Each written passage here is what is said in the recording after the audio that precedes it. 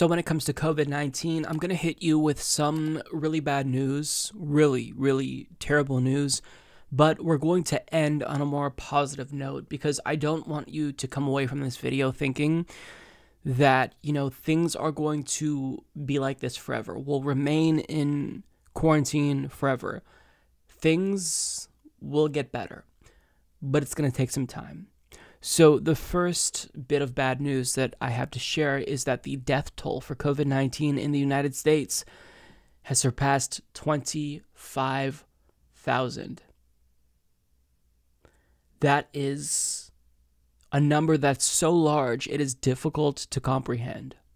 25,000 Americans died because of COVID 19. To think about this, to think about how many people are in pain right now because they lost a loved one or fear losing a loved one, to think about the massive scale of just suffering. It's really overwhelming. It's really, really overwhelming.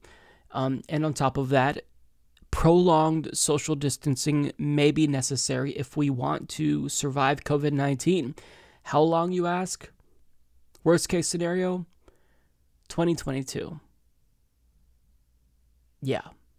So, as Leah Asmelash and Maggie Fox of CNN report, the U.S. may have to endure social distancing measures such as stay at home orders and school closures until 2022, researchers projected on Tuesday.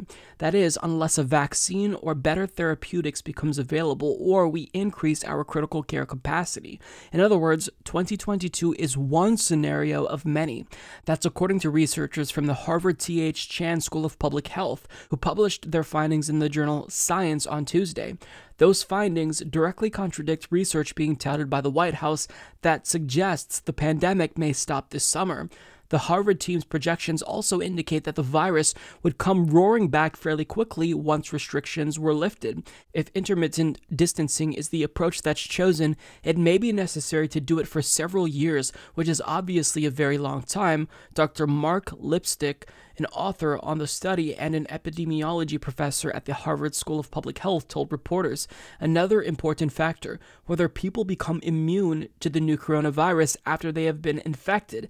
That's not yet known. Potential challenges include finding a reliable test to determine who has antibodies for the coronavirus, establishing the level of immunity conferred by previous infection, and how long it lasts, and the capacity of overstretched health systems to carry out reliable, widespread antibody tests tests in the general population. There's also difficult social questions around immunity certificates, which have been floated as a possibility in the UK. Would they create a kind of two tier society where those who have them can return to a more normal life while others remain locked down? The study researchers say they are unaware that such prolonged distancing, even if intermittent, would likely have profoundly negative economic, social, and educational consequences.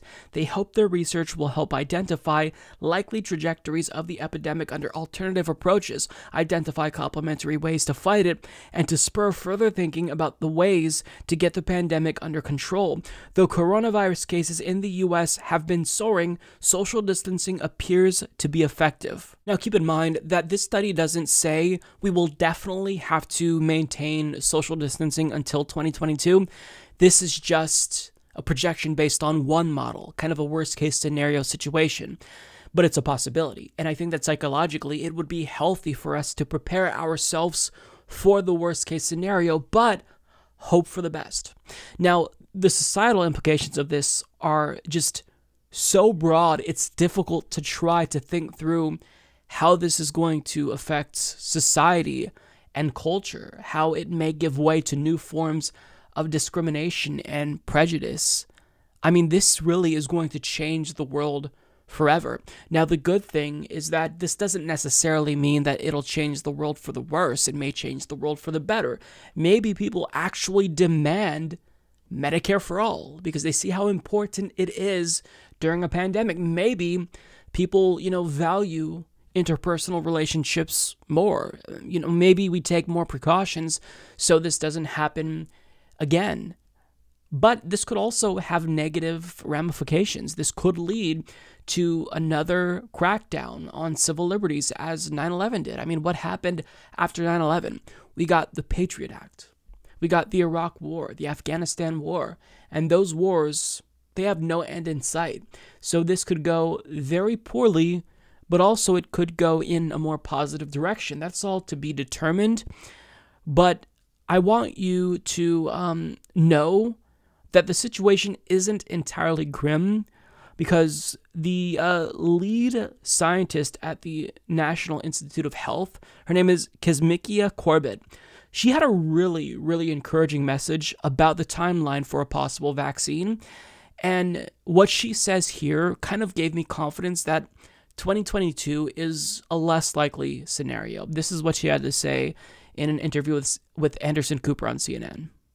So, we're developing a vaccine for COVID 19 it is based on several of our previous projects where we were investigating vaccines for MERS and SARS coronaviruses, which are very closely related to the virus that causes COVID 19. So, this vaccine incorporates the spike protein, which is the protein that is on the surface of the virus. And that protein is the reason, essentially, why the virus is able to attach to a cell and then get into a cell and cause an infection. Hmm. So, from our perspective, if we can incorporate that protein into our vaccine and essentially allow the body to create a response to that protein that may block an infection later, we've created a successful vaccine. The really interesting part about this is that we have a collaboration with Moderna, which is a company that uses messenger RNA, which is essentially just genetic material, and we're using their platform to deliver our vaccine spike. Hmm. That's fascinating. So, uh, Sanjay, I know you've got some questions as well. Yeah. Uh, doctor, um, thank you for being here and thank you for your work. Uh, you, people don't always realize that vaccines can take a long time to make. I mean, there's vaccines that have taken years and years to make. I think with SARS, uh, it took 20 months, if I remember correctly, just under two years to get into phase one trials. I think you may have just talked about this, but but why it's it's happening a lot faster now? I think, right? Uh, correct me if I'm wrong on that. And how is it happening so much faster? You know, there are several layers to our rapid response, which is what we call it. Um, most of it is based on the work that we've done previously. So, towards the goal of being prepared for a pandemic and ready and to aim and shoot, um, so to speak, we've researched coronavirus vaccine development for the last seven years, particularly under my direction. The team has researched this coronavirus development for five years. And so, coming into the onset of this pandemic, we had an idea about what we wanted to do as far as um, the, the design of the vaccine. We already had our collaboration set in stone with Moderna as we've been testing several other vaccine candidates, um, what you call preclinically or non clinically. And so um, a lot of our work that we've done previously has essentially driven us into what we call a rapid response. And so, I mean, you probably are aware that we were able to go from getting the sequence online from the Chinese government at the same time as the rest of the world, um, and essentially pushing for a vaccine to get into a human trial in 66 days. Oh. And, and when you go, what is the process? Um, uh, pardon my ignorance on this. You, you have a, a, human trial, that's a phase one trial, is that right? Yes. So, um, vaccine development is a very long process. And, and as Dr. Gupta pointed out, it is something that generally takes years and years to develop. Um, here in this first phase, um, we are testing the safety of the vaccine. Um, that is just a simple question Is the vaccine safe to use in people? And then there's a stepwise introduction of the vaccine for other endpoints like does the vaccine work? Um, does it create an immune response? Does it protect people from infection? Um, and those are second um, and third phase studies that are to happen somewhat simultaneously, but after getting data um, that is allows us to move forward in that process. Hmm. So overall, um, our goal in the beginning was to go from sequence through to general population at best in 18 months. And it's looking like we're on track for that. So hearing her speak, it gave me hope because they're working quickly and there's a lot of pressure on them to act quick and get us back to normal as soon as possible because nobody wants to stay in this predicament for a long time. Nobody does. Governments don't want to, individuals don't want to because look, the economy is going to suffer, but we have to make sure that we take the proper precautions so we protect human beings and this doesn't come back. We can't be irresponsible and end social distancing and self quarantine too soon because then we're just going to have to do it again. So it's important that we have a really strong effort first so we don't have a relapse. Now, odds are there will be a relapse in the fall if we return to some sense of normalcy, if not, you know, fully normal. But, you know, what she says here, it made me feel hopeful. Trials in 60 days, workers may get a vaccine as early as this fall, and everyone could be vaccinated around the world by spring of 2021, assuming the virus is still a pandemic by then. So um, I think that's a more realistic timeline. I'm not going to automatically assume that the worst case scenario is the most likely scenario because there's a lot of different models that have variations in their predictions. So we don't necessarily know, but I think it's important that we pace ourselves, right? Uh, the world will adapt to this virus um, if we will have to remain in quarantine until 2022. Like businesses will adapt. You'll see, you know, the market gravitate towards takeout options for food. Um, you'll see more delivery options probably become available if we're to trust the market gods, you know. But I mean, there's a lot of um, local movie theaters around me who are selling, you know, candy packages with popcorn and uh, soda and whatnot.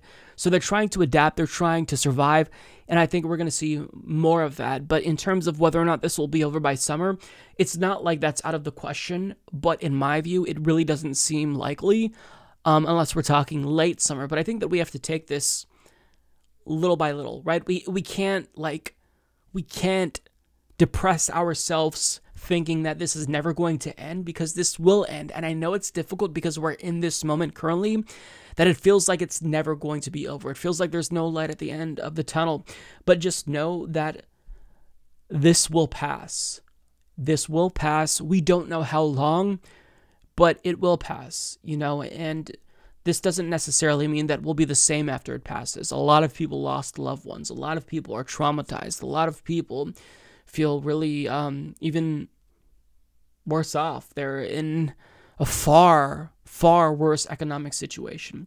So, you know, my hope, if I can be a little bit optimistic, if you'll indulge me, is that people going forward will, will wake up, will take away some good out of this and actually grow and not regress as we did after 9 11. We'll actually have people demanding Medicare for all, a universal basic income where we get a check monthly, right? And it stacks on top of our existing social safety net programs because it's times like this where people should really think think more about, you know, their fellow Americans, not to sound corny, but think about collectivism, think about how, you know, when some of us fall, we all fall. When our, you know, the people at the bottom of the economic totem pole suffer, everyone suffers. So we all have a vested interest in making sure that all of us, as many of us as possible, come away from this as strong as possible. And I'll leave you with that. Hang in there.